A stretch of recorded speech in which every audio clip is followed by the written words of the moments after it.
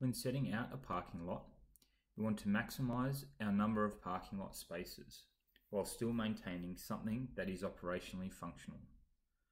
Autodesk Vehicle Tracking contains the tools you need to optimise the layout as well as maintain a geometric standard that you can set with respect to bay width, driving aisles and handicap spaces.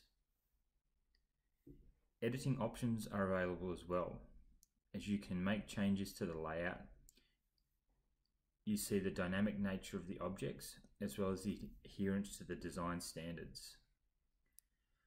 Plus, you can define your own standards or check your designs against the ones that ship with the product. Note that the Australian and New Zealand standards AS NZS 2890.1 and 2890.6 are available. So with our with our preliminary parking uh, layout in place, we can now go back and adjust our layouts via the on-screen grips.